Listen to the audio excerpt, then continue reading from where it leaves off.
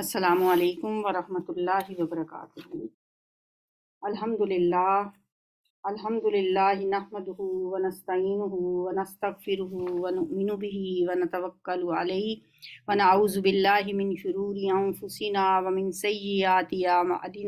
यहदिहिल्लाहु फला मुज़िल्ल लह व फला हादिय लह व नशहदु अन ला इलाहा इल्लल्लाहु वहदहु वहदहु ला शरीका लह वशहदु अन्न मुहम्मदन अब्दुहु व रसूलु अम्मा बाद फ़इन्न खैरल हदीस किताबुल्लाह व खैरल हदी हदी मुहम्मदिन सल्लल्लाहु अलैहि वसल्लम व शर्रिल उमूरि मुहदसातुहा व कुल्ल मुहदसतिन बिदअ व कुल्ल बिदअतिन ज़लाला व कुल्ल ज़लालतिन फिन्नार अऊज़ु बिल्लाहिस समील अलीम मिनश शैतानिर रजीम मिन हमज़िही व नफ़्ख़िही व रब्बि शराहली सदरी व यस्सिरली अमरी वहलुल उक़दतम मिन लिसानी यफ़क़हू क़ौली, रब्बि यस्सिर वला तुअस्सिर व तम्मिम बिल खैर, अल्लाहुम्मा सल्लि अला नबीना मोहम्मद। हमने कल 21वां पारा मुकम्मल किया, लेकिन 21वें पारे के आखिर में जो हम अहम निकात का थोड़ा सा तस्करा किया करते हैं, वो करने का टाइम नहीं मिल सका था हमें या हमारे तैयार भी नहीं थे। पहले वो देख लेते हैं कि इक्कीसवें पारे के अहम नकात क्या थे। आगाज़ हुआ था इक्कीसवें पारे का सूरह अनकबूत जारी थी। तो कुछ पॉइंट्स हमने बीसवें पारे में सूर्य अनकबूत के देखे थे और जब इक्कीसवें पारे का आगाज़ हो रहा है वो उतलुमा ऊहिया से हो रहा है, यानी तलावत करें उसकी जो आपकी तरफ़ वही की जा रही है। यानी कुरान हकीम की तलावत करने का और नमाज़ की पाबंदी का हुक्म शुरू में दिया गया। और फिर नबी सल्लल्लाहु अलैहि वसल्लम का उम्मी होना सदाकत की अलामत करार दिया गया। क्योंकि नबी सल्लल्लाहु अलैहि वसल्लम अगर उम्मी ना होते, लिखना, पढ़ना जानते होते तो फिर तो आप पे बहुत बड़ा ये एतराज़ आता कि आपने ये कुरान खुद लिख लिया है।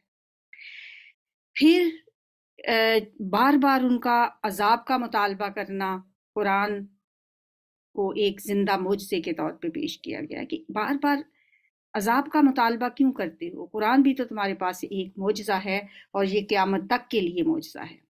फिर इसमें हमें हिजरत का इशारा मिल मिलता है। इन आर्जी वासियतुन। कुछ इस तरह की आयत है कि मे, मेरी ज़मीन कुशाता है। हिजरत कर जाओ। जिसकी बिना पे फिर हिजरत हबशाह वलदोम हुई। फिर हिजरत मदीना भी हुई। और हिजरत में जो एक इंसान को होता है ना कि वहाँ मैं खाऊँगा क्या? अपने घर से बेघर हो जाना, मुआशी तंगी का ख़तरा होता है तो अल्लाह ताला ने इंसान को ये ज़िम्मेदारी अपनी ली है और कहा है कि परिंदों को देख लो, जानवरों को देख लो कि किस तरह वो भूखे पेट निकलते हैं सुबह और अल्लाह ताला उनको रिस्क देता है ना। तुम अगर एक अपना घर छोड़ के अल्लाह की खातिर निकलोगे तो अल्लाह तुम्हें भी भूखा नहीं मारेगा। फिर आखिरी आयत जो है उसमें जिहाद को कहा गया है कि जो हमारे रस्ते में जिहाद करेगा, यानी कोशिश करेगा, हम उसके लिए राहें खोल देंगे और जिहाद अकबर को एक बहुत बड़ा इनाम करार दिया गया फिर सूरह रूम है जिसमें कुरान ने एक पेश गोई की है कि गोलीबत रूम रूमी अभी तो मगलूब हो गए हैं, लेकिन नौ साल के अंदर रूमियों का दोबारा गलबा होगा और ये वाकई हर बार ये पेशीन कोई सच्ची भी साबित हुई। फिर अल्लाह के वजूद और उसकी अजमत के दलाइल दिए गए हैं और फिर ये कहा गया है कि फ़ाकिम वजह कलद्दीन हनीफ़ा अल्लाह के लिए यकसू हो जाओ और अल्लाह का चेहरा देखने के लिए खर्च करने की तलकीन की गई है कि रिश्तेदारों को और दूसरे ज़रूरतमंदों पे खर्च करो ताकि अल्लाह की रजा हासिल कर सको, अल्लाह का चेहरा देख सको।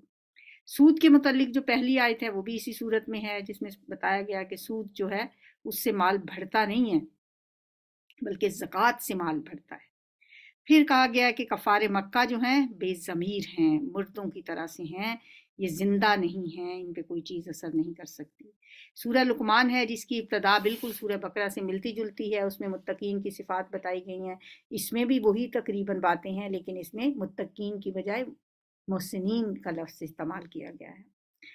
फिर लाहुल हदीस जो मैंने आपको बताया था कि नज़र बिन हारिस जो शाम से लेके आया, ताकि कुरान की तरफ़ से लोगों की तवज्जो हटाई जाए लगवियात की तरफ़ लोगों को लगाया जाए, जैसे कि आजकल भी लाहुल हदीस का आम चर्चा है। आजकल तो इसे बुरा भी नहीं समझा जाता। आजकल तो ये इसे कल्चर का हिस्सा बना लिया गया है। अल्लाह की कुदरत की दलीलें यहाँ फिर दी गई हैं। फिर हज़रत लुकमान की हमत दनाई और उनकी अपने बेटे को वसीयतें हैं। और फिर आखिर में सूरह लुकमान के बताया गया है कि गैब की कुंजियाँ अल्लाह के हाथ में हैं। गैब की चाबियाँ, पाँच चीज़ें जिन्हें गैब की कहा गया है कि ये मफातीहुल गैब हैं। फिर आगे जी, सूरज सजदा है। सूरज सजदा में कुरान की हिफाजत का ज़िक्र है शुरू में, फिर इंसान की तख्लीक के मराहल बयान किए गए हैं, फिर मुजरमों का हाल, फिर मोमिनों का हाल, फिर आखिर में जन्नत की नेमतें बयान की गई। आगे आती है सूरह एहसाब सूरह अहजाब, चूँकि फिर मदनी सूरत है या नबीयू कहकर खिताब किया गया और चार बातों का हुक्म आपको दिया गया। पहले ये कि अल्लाह से डरते रहें, फिर काफरों और मुनाफकों की जो राय है उसको खातर में ना लाएँ, फिर वही वही इलाही की को फॉलो करें, उसकी तबाह करें और चौथा ये कि अल्लाह पे मुकम्मल भरोसा रखें। फिर ये बताया गया कि जैसे मुनाफिक कहते हैं कि मेरे तो दो दिल हैं जी, एक मेरा मोमिनों के साथ है, एक इनके साथ कहा सीने में दो दिल नहीं हो सकते। फिर जिहार जो जाहिलाना एक रस्म थी, उसका ज़िक्र है। फिर मुँह बोले बेटे के बारे में बताया गया कि वो हकीकी बेटे नहीं हो सकते। फिर नबी सल्लल्लाहु अलैहि वसल्लम की बीवियों को रूहानी माएँ करार दिया गया और गजवाए अहजाब और गजवाए बनी कुरैजा का तस्करा है। और आखिर में ईला का वाक्य। ईला क्या चीज़ है? ये कल वक्त की कमी के बायस मैं आपको बता नहीं सकी हूँ। ईला कहा जाता है कि जब कोई शौहर अपनी बीवी से, किसी वजह से कता, ताल्लुकी की कसम खा ले तो उसे इस तला में ईला कहा जाता है, जैसे हमने सूर्य बकरा में पढ़ा था, लिल्लजीन यूलून मिन निसाइहिम, जो लोग अपनी बीवियों से ईला कर लेते हैं। तो इसमें नबी सल्लल्लाहु अलैहि वसल्लम के ईला का तस्करा है, क्योंकि जब फतुहात भड़ी और मदीना में माल की कसरत हुई माल गनीमत आना शुरू हुआ तो कुदरती बात थी कि अजवाज मतहरात ने भी तकाजा किया कि हमारा भी नान नफका बढ़ाया जाए। हजूर वसल्लम को जो पसंद नहीं आया और आप उनसे अलग हो गए, मस्जिद नबी के साथ एक बाला खाने में मुंतकिल हो गए। एक महीने तक आपने किसी भी बीवी के पास ना जाने की कसम खा ली। तो ये ईला था और उसके बाद अल्लाह ताला ने ये आयात नाजिल की। इसके बाद नबी सल्लल्लाहु अलैहि वसल्लम ने अपनी बीवियों से राय ली। उस वक्त आपके निकाह में चार बीवियाँ थीं, हज़रत सौदा, हज़रत आयशा, हज़रत हफ्सा, उम्म सलमा। हज़रत जैनब से भी आपका निकाह नहीं हुआ था। लेकिन जैसा कि कल भी मैंने आपको बताया था कि सब बीवियों ने कहा हम आपके साथ ही रहना चाहते हैं हमें ए, कुछ नहीं चाहिए।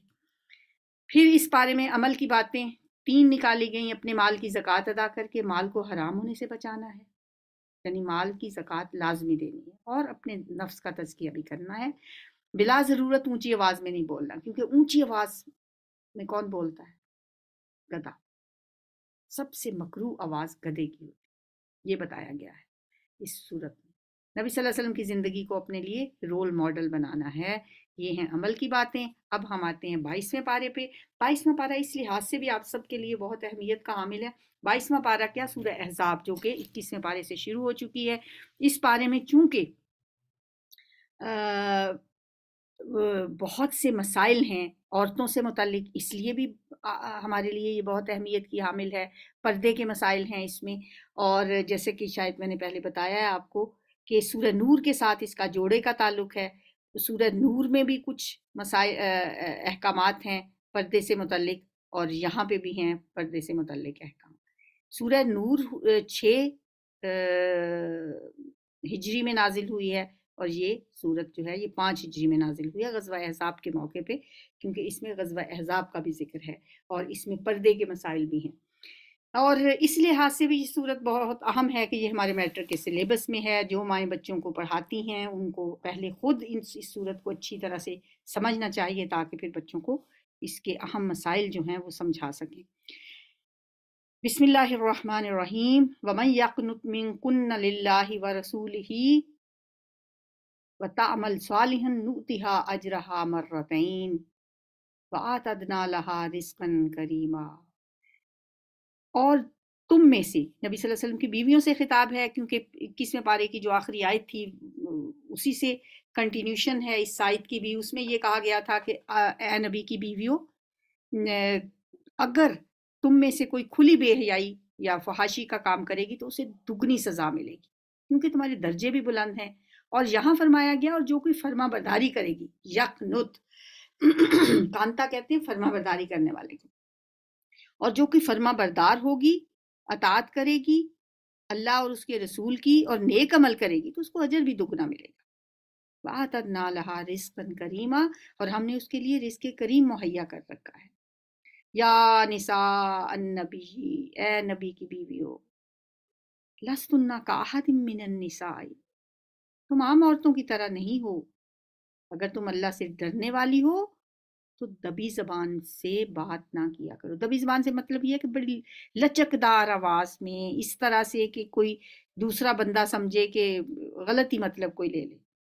यानी बात में में थोड़ा फम लहजे में बात करनी चाहिए। दबी जबान में ऐसे ना वो कि जैसे आजकल बहुत से आपको ऐसी मिसालें मिलेंगी ख़ास तौर पे खरीदारी करने जो ख़वातीन और लड़कियाँ जाती हैं तो वो दुकानदार से ऐसे बातें कर रही होती हैं, लहक लहक के लचकदार आवाज़ में, कीमत कम कराने के चक्कर में, प्लीज़ कम कर लीजिए ना। तो ये अंदाज जो है, इससे अल्लाह ताला मना कर रहा है।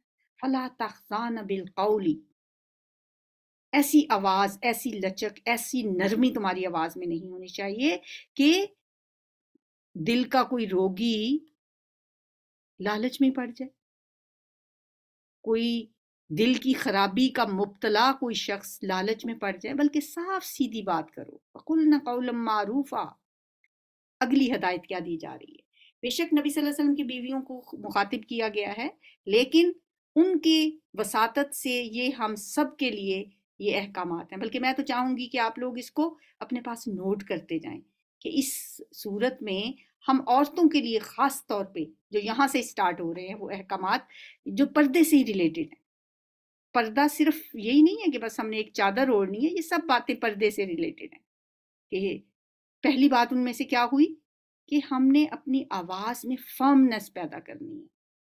आवाज़ में नरमी नहीं होनी चाहिए। मर्दों से बात करते हुए गैर महरम मर्द से बात करते हुए हमारी आवाज़ ऐसी हो कि जो उसे एक मैसेज दे जाए कि मैं एक इज्जतदार औरत हूँ।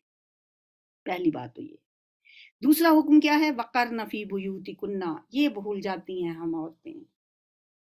वकर नफी बुयूती कुन्ना अपने घरों में टिक के बैठी रहो। आज की औरतों को तो ये बात कतन पसंद नहीं आएगी, लेकिन पसंद, नापसंद का क्या ताल्लुक है? ये अल्लाह का कलाम है, ये अल्लाह की किताब है, जिससे हमने आज तक खोल के नहीं देखा, पढ़ लें इसमें क्या लिखा है। अपनी आँखों से पढ़ना जो हक्कुल यकीन की हद तक इल्म इंसान को तभी होता है जब आँखों से पढ़ता है। सुनी सुनाई बातें नहीं। सुनी सुनाई बातें और होती हैं। जब तक आप अपनी आँखों से नहीं पढ़ते ना, उस वक्त तक आपको वो यकीन भी नहीं आता। आज अपनी आँखों से देख लिया ना वकर नफी बुजूती कुन्ना और अपने घरों में टिक के बैठी रहो। वला तबर्रजना तबर्रुजल जाहिलियतिल ऊला। और दौरे जाहलीत की सी जीनत ना दिखाती फिरो सज धज ना दिखाती फिरो जमाना जाहलीत में औरतें क्या करती थी? सज संवर के बाहर निकलती थी ज़ाहिर है, जो औरत सज संवर के बाहर निकलती है, उसका क्या मकसद है? आज भी मैंने देखा है बाज औरतों को बाज़ार जाने के लिए लिपस्टिक लगा दी शौहर घर बैठे हैं, वो सज संवर के दुपट्टा पतला सा लेके, मेकअप करके और हील वाले जूते पहन के वो बाज़ार जा रहे हैं। अब इन आयतों को देख लें और अपने अपने रवैये भी देख लें कि हम क्या कर रहे हैं अल्लाह का कलाम हमें क्या कह रहा है। तो किसको दिखाना है हमने बाहर जाके? जीनत तो सिर्फ़ एक मर, एक शख्स के लिए है और वो आपका शौहर है। शोहर घर है और आप बाज़ार जा रहे हैं आप लिपस्टिक किसके लिए लगा के जा रहे हैं? जमाना जाहलियत जैसी सज दज ना दिखाती फिरो और क्या करो? वाकिम नमाज़ कायम करो। व जक़ा स्पेसिफिकली औरतों से खिताब है। और जक़ात अदा करो, वरना अगर सबके लिए होता है, वो तो होता है अकीम सलात वात जक़ात यहाँ मुन्नस के सीगे हज़रत उम्म सलमा ने ये भी कहा था ना कि सारे अहकाम अल्लाह ताला मुजक्कर के सीगे में ही देते हैं, औरतों से खिताब नहीं होता तो फिर अगली आयात वो आई थी वो भी मैं आपको आगे जाके बताती हूँ कि फिर अल्लाह ताला ने कौन सी आयात नासिल की थी? तो यहाँ भी तो औरतों से मुखातिब है ना अल्लाह ताला। व अतीन अल्लाह व रसूल और अतात करो अल्लाह की और उसके रसूल की। इन्नमा युरीदुल्लाहुलियुज़हिबअनकुमुर्रिजसा अल्लाह तो ये चाहता है कि तुम अहले बैत नबी सल्लल्लाहु अलैहि वसल्लम से गंदगी को दूर करे और तुम्हें पूरी तरह पाक कर दे। याद रखो अल्लाह की आयात और हिकमत की उन बातों को जो तुम्हारे घरों में सुनाई जाती हैं। अल्लाह की आयात तो कुरान और हिकमत की बातें जो नबी सल्लल्लाहु अलैहि वसल्लम की बातें हैं, अहादीस आपकी। बेशक अल्लाह लतीफ़ और बाखबर है। अब ये वो आय, अगली आयात जो है ना, वो मिसलमा रज़ी तमिन जो है, उन्होंने उनकी उस मुतालबे के जवाब में अल्लाह ताला ने ये आयात नाजिल की, जिसमें मर्दों के साथ साथ औरतों का भी नाम लिया गया। बेशक मुस्लिम मर्द और मुस्लिम औरतें, मोमिन मर्द और मोमिन औरतें रास्तबाज मर्द और रास्तबाज औरतें, साबिर मर्द और साबिर औरतें। अल्लाह के आगे झुकने वाले मर्द और अल्लाह के आगे झुकने वाली औरतें, सदका देने वाले मर्द और सदका देने वाली औरतें, रोज़ा रखने वाले मर्द और रोज़ा रखने वाली औरतें, अपनी शर्मगाहों की हिफाजत करने वाले मर्द और औरतें और अल्लाह को कसरत से याद करने वाले मर्द और औरतें। व जाकिरीन अल्लाह कसीरम व जाकिरात। अल्लाह ने उनके लिए मगफरत और बड़ा अजर मुहैया कर रखा है। वमा कान लिमुमिन वला मुमिनतिन इज़ा क़ज़ल्लाहु व रसूलुहु अमरन अन यकून लहुमुल खियरतु मिन अमरिहिम किसी मोमिन मर्द और किसी मोमिन औरत को यह हिस्से भी नहीं देता कि जब अल्लाह और उसका रसूल किसी मामले का फैसला कर दे तो फिर उसे अपने उस मामले में खुद फैसला करने का अख्तियार बाकी रहे। और जो कोई अल्लाह और उसके रसूल की नाफरमानी करे तो वो सरी गुमराही में पड़ गया। ये आयात जो हैं, ये हज़रत जैनब, जो नबी सल्लल्लाहु अलैहि वसल्लम की फूफी ज़ात थी, जब उनके साथ नबी सल्लल्लाहु अलैहि वसल्लम ने अपने आज़ाद करदा गुलाम हज़रत जैद का निकाह करना चाहा और उनको प्रपोज किया और उन, वो करना नहीं चाहते थे जैनब के भाई भी और जैनब का भी इरादा नहीं था, उस पर ये आयात नाजिल कि जब अल्लाह और उसके रसूल का एक फ़ैसला आ गया है तो फिर तुम्हें कोई इख्तियार नहीं है। किसी मोमिन मर्द और मोमिन औरत को ये इख्तियार नहीं है कि जब अल्लाह और उसका रसूल किसी बात का फ़ैसला कर ले, कि फिर उनके पास किसी बात का अख्तियार रह जाए। और इस आयत के बाद फिर उन्होंने इस प्रपोजल को एक्सेप्ट कर लिया। हज़रत जैद जो नबी सल्लल्लाहु अलैहि वसल्लम के आज़ाद करता गुलाम थे, जिन्हें जैद बिन मोहम्मद कहा जाता था, क्योंकि ज़माना जाहलीत में तो लबालक बेटा, हकीकी बेटा समझा जाता था। तो फिर उनके साथ हज़रत जैनब की शादी हो गई। वाइस तकूलजी अन अमल्लाहु अलैहि व अन अमता और जब आप कह रहे थे, या नबी वसल्लम, याद करें वो वक्त, जब आप उस शख्स से कह रहे थे, जिस पे अल्लाह ने आपने एहसान किया था, कि अपनी बीवी को ना छोड़ो और अल्लाह से डरो तो उस शख्स का जो जो ज़मीर है ना, वो हज़रत जैद के बारे में जब आप लिल्लजी उस शख्स से कह रहे थे, जिस पे आपने इनाम किया, आपने क्या इनाम किया? आपने उनको बेटों की तरह रखा, बेटा बना के रखा और आप सल्लल्लाहु अलैहि वसल्लम ने अपनी फूफी ज़ात से उनकी शादी करवाई और जो बहुत ऊँचे ख़ानदान से थी। और लेकिन कुछ बस कोई भी रीज़न हो सकती है, उनका निभा नहीं हो रहा था। हज़रत ज़ैद बार बार नबी सल्लल्लाहु अलैहि वसल्लम से ये कहते थे कि मैं उनको तलाक देना चाहता हूँ। आप जवाब में कहते थे कि अपनी बीवी को ना छोड़ो। अमसिक अलई का जौजा का। अपनी बीवी को ना छोड़ो। वत्तकिल्लाह, अल्लाह से डरो। वतुखफी फ़ी नफ्सी का मल्लाह मुबदी ही वतक्षन्नास उस वक्त आप अपने दिल में वो बात छुपाए हुए थे, जिसे अल्लाह खोलना चाहता था। वो बात क्या थी? आपको ये था कि मैंने इसरार करके हज़रत जैद के साथ हज़रत जैनब की शादी की है। अब अगर हज़रत जैद उनको तलाक दे देते हैं तो इसका किस तरीके से मैं इसको कंपनसेट करूँगा?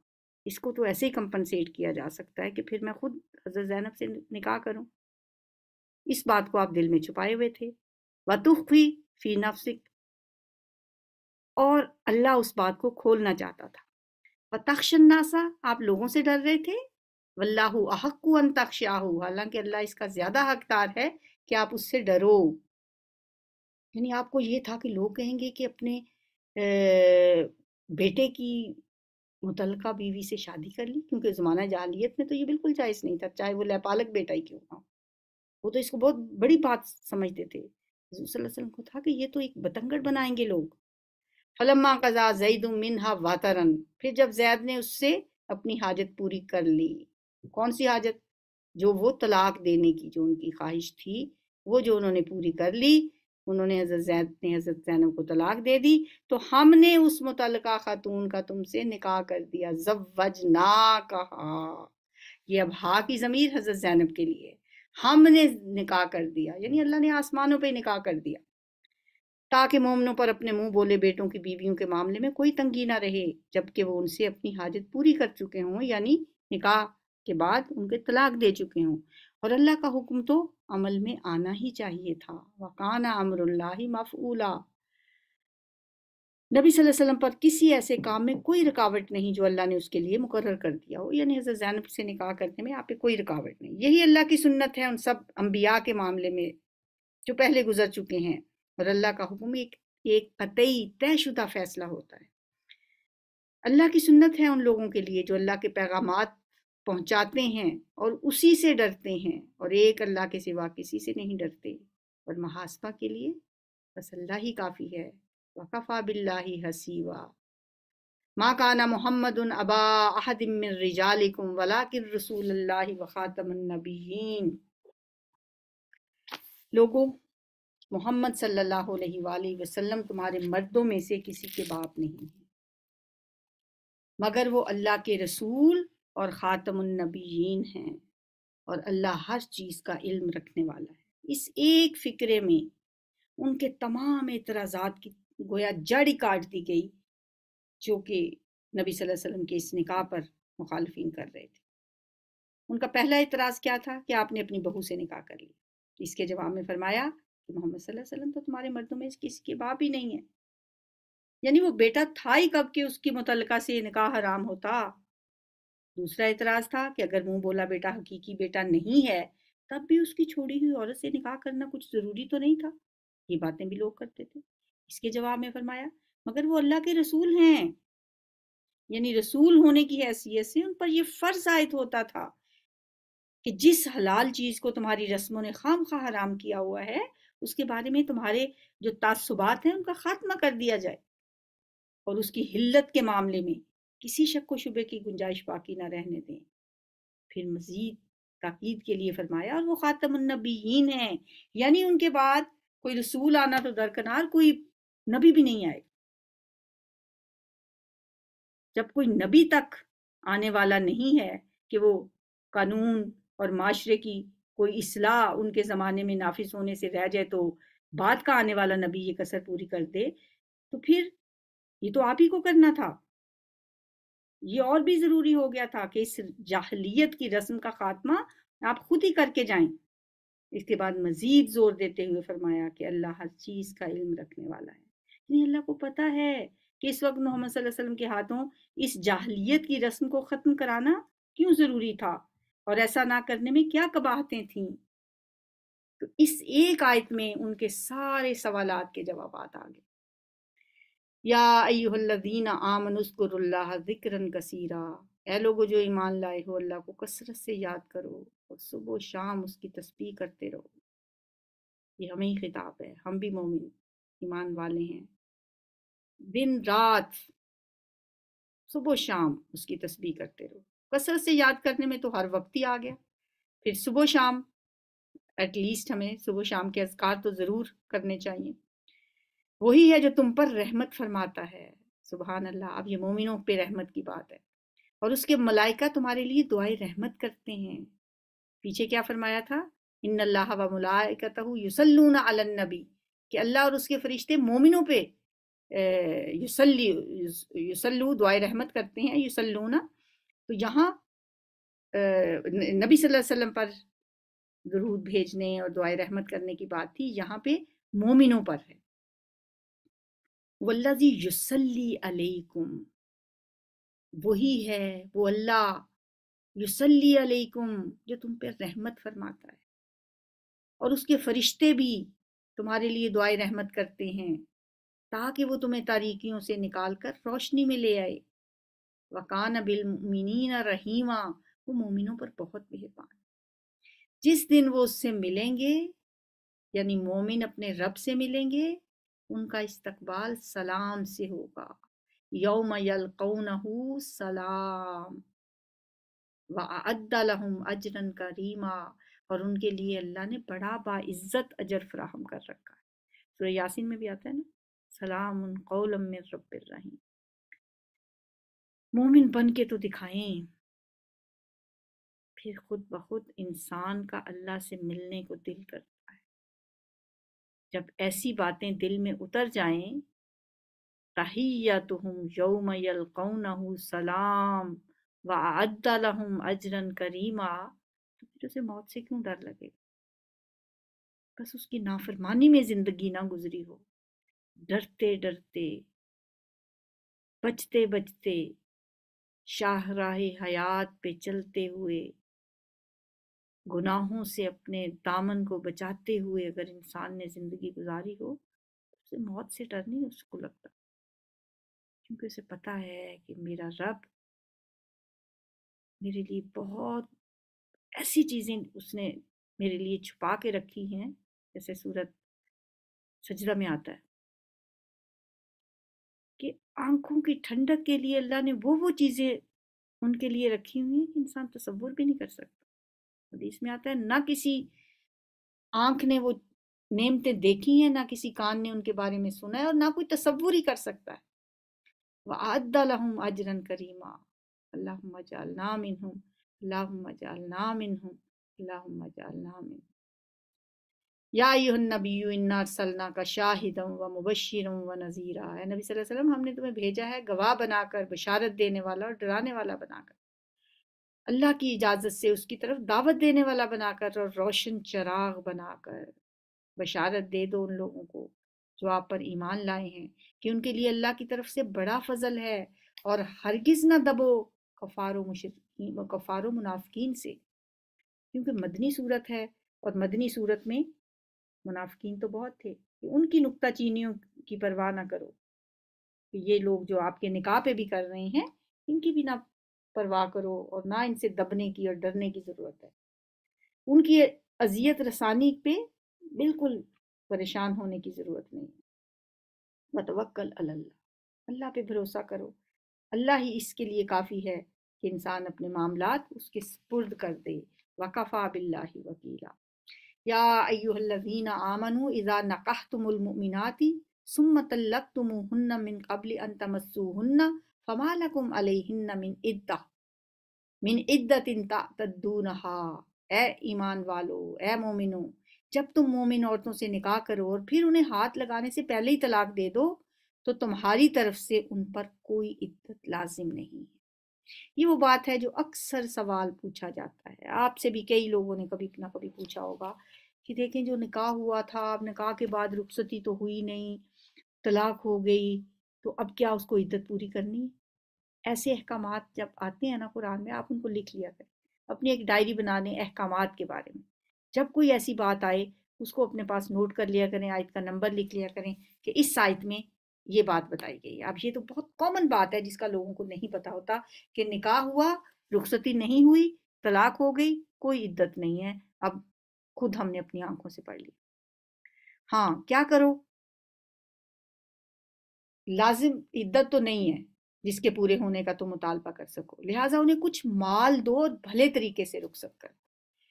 हम तो जब निकाह के बाद तलाक होती है तो लड़ाई, झगड़े, माल क्या देना मर्द से कहा जा रहा है, कुछ ना कुछ दो, उसे मुतय तलाक कहा जाता है। फमत्ती उन्ना कुछ ना कुछ तो दे दो। कम अज कम कुछ भी नहीं दे सकते, एक सूट ही दे दो। तलाक दे रहे हैं और साथ कुछ।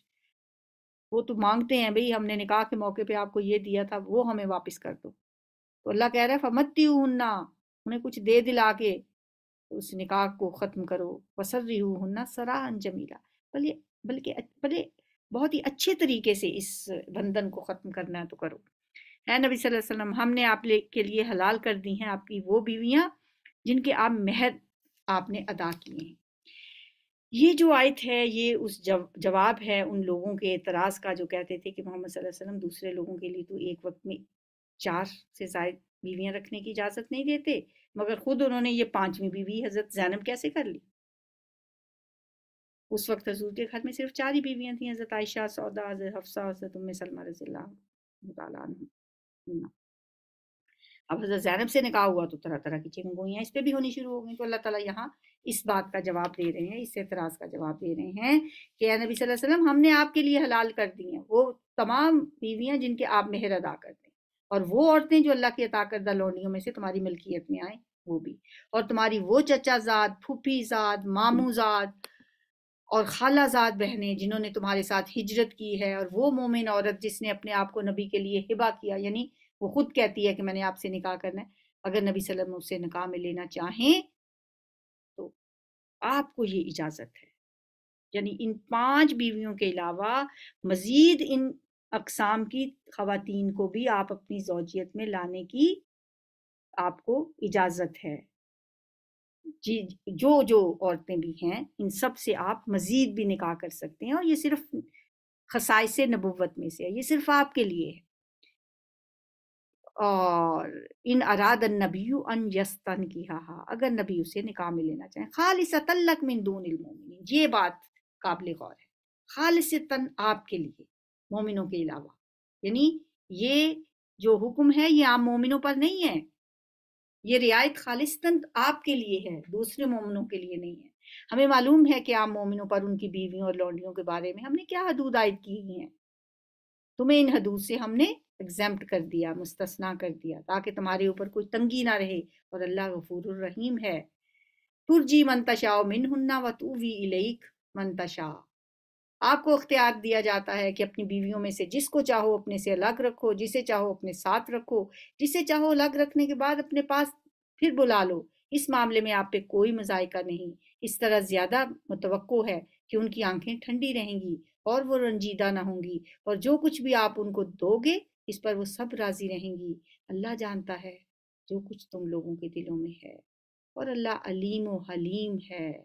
इसके बाद तुम्हारे लिए दूसरी औरतें हलाल नहीं हैं और ना इसकी इजाज़त है कि इनकी जगह और बीवियाँ ले आओ। खा उनका हुसन तुम्हें कितना ही पसंद हो। अब यहाँ नबी सल्लल्लाहु अलैहि वसल्लम को एक पाबंदी आप पे आई। इस आयत के दो मतलब हो सकते हैं। एक तो ये कि जो औरतें आप पर यानी आयत नंबर फिफ्टी में हजूर वसल्लम के जो जो औरतें हलाल की गई हैं, उनके सिवा दूसरी कोई औरत अब आपके लिए हलाल नहीं है। दूसरा इसका मतलब ये है कि जब आपकी बीवियाँ इस बात के लिए राज़ी हो गई हैं कि तंगी तुलसी में वो आपका साथ देंगी जैसे कि पीछे हमने ईला में पढ़ा, आयते ईला में वाक़ ईला में कि सब राज़ी हो गई कि हम आपसे कोई मुतालबा नहीं करेंगे और फिर ऐसे हालात उन पे आए कि उनके घर में कई कई वक्त तक फाका रहता था। हज़रत आयशा फरमाती हैं, हम दो दो चाँद देख लेते थे, हमारे घर में चूल्हा नहीं जलता था। तो ऐसे हालात में रहने के लिए जब आपकी बीवियाँ राज़ी हैं और उन्होंने आखिरत के लिए दुनिया को तज दिया है और वो इस पर भी खुश हैं कि आप जो बर्ताव भी उनके साथ चाहे करें तो अब वो आप वसल्लम के साथ ही रहेंगी। तो आपके लिए अब ये जायज़ नहीं है कि उनमें से आप किसी को तलाक देकर उसकी जगह कोई और बीवी लें। ये मतलब है इस साइड का अब आप उनको तलाक दे के कोई उनकी जगह पे दूसरी बीवी नहीं ला सकते। अन तो बदल मिन अजवाज। वलो जब का हुसन होना चाहे आप को उनका हुसन कितना ही अच्छा लग रहा हो कि आप अपनी इस बीवी को तलाक दें और उसकी जगह पे किसी और के साथ निकाह करें। अलबत्ता लौंडियों की आपको इजाज़त है। वकान अल्लाह कुल्ली रकीबा। अल्लाह हर चीज़ पर निगरान है। अब इस से ये पता चला कि जो आपकी बीवियाँ हैं उनके अलावा, जो लौंडियाँ हैं, ममलूका औरतें, उनके साथ भी आपको इजाज़त है फ़ायदा उठाने की और उनके लिए तादाद की कोई कैद नहीं है।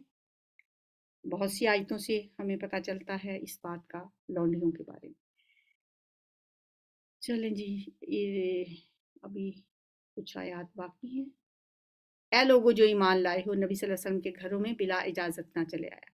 ना खाने का वक्त ताकते रहो। हाँ अगर तुम्हें खाने पर बुलाया जाए तो ज़रूर आओ, ये हज़रत जैनब के वलीमे की बात है। मगर जब खाना खा लो तो मुंतशिर हो जाओ, बातें करने में ना लगे रहो। तुम्हारी ये हरकतें नबी को तकलीफ़ देती हैं, मगर वो शर्म की वजह से कुछ नहीं कहती। और अल्लाह का, अल्लाह हक बात कहने से नहीं शर्माता। हज़रत जैनब के वलीमे पे खाना खाने के बाद लोग बैठे रहे, गप्पे लगाते रहे। अब नबी सल्लल्लाहु अलैहि वसल्लम उनसे कैसे कहें कि भाई आप जाएँ, रात हो गई है। नबी की बीवियों से अगर तुम्हें कुछ मांगना हो, अब ये दूसरा अगला हुक्म है। तो पर्दे के पीछे से मांगा करो। ये तुम्हारे और उनके दिलों की पाकिजगी के लिए ज़्यादा मुनासिब तरीका है। ये भी पर्दे के अहकाम में से एक है। तुम्हारे लिए ये हरगिज जायज़ नहीं है कि अल्लाह के रसूल को तकलीफ़ दो और ना ये जायज़ है कि उनके बाद उनकी बीवियों से निकाह करो। यहाँ ये हुक्म भी आ गया। ये अल्लाह के नज़दीक बहुत बड़ा गुनाह है। इन तुबदू शयन खा कोई बात ज़ाहिर करो या छुपाओ, अल्लाह को हर बात का इल्म है। अजवाज नबी वसल्लम के लिए इसमें कोई मुजायका नहीं है कि उनके बाप, उनके बेटे, उनके भाई, उनके भतीजे, उनके भांजे, उनके मेल जोल की औरतें और उनके ममलूक, यानी गुलाम घर में आए। अब ये उनके जो महरम रिश्ते हैं, उनको मतलब बता दिया गया। ए औरतों, तुम्हें अल्लाह की नाफरमानी से बचना चाहिए। अल्लाह हर चीज़ पर निगाह रखता है। अल्लाह और उसके मलाइका नबी सल्लल्लाहु अलैहि वसल्लम पर दरूद भेजते हैं। ए लोगों, जो ईमान लाए हो, तुम भी उन पर दरूद सलाम भेजो। इस तरह वहाँ पे मोमिनों पे के मुतलिक थी आयत, ये नबी सल्लल्लाहु अलैहि वसल्लम पर दरूद भेजने के मुतलिक है कि अल्लाह भी दरूद भेजता है नबी सल्लल्लाहु अलैहि वसल्लम पर, उसके फरिश्ते भी, लिहाजा हमें भी भेजना चाहिए। अल्लाह सल्ली वसल्लम अला नबीना मोहम्मद। जो लोग अल्लाह और उसके रसूल को अजियत देते हैं, इन पर दुनिया और आखिरत में अल्लाह ने लानत फरमाई। और उनके लिए रसवा कन अजाब मुहैया कर दिया है। और जो लोग मोमिन मर्दों और औरतों को बेकसूर अजियत देते हैं, उन्होंने एक बड़े बहतान और सरी गुनाह का वबाल अपने सर ले लिया है। है नबी सल्लल्लाहु अलैहि वसल्लम, अपनी बीवियों और बेटियों और अहले ईमान की औरतों से कह दो, ये है ख़ास तौर पर पर्दे की आयत। कि अपने ऊपर अपनी चादरों के पल्लू लटका लिया करे, युद्ध नीना अलहिन्ना मिन जला बीबी हिन्ना अपने ऊपर अपने जिलबाब लटका लिया करें। अला के होता है, ऊपर से कोई चीज़ डाल देना, जैसे एक जग पड़ा है ना, आप उसके ऊपर एक कपड़ा डालते हैं, वो उसको पूरी तरह से कवर कर लेता है। उसके लिए लफ्ज आता है अलाह का। ऊपर से डाल लिया करो अपने ऊपर चादरों के पल्लू।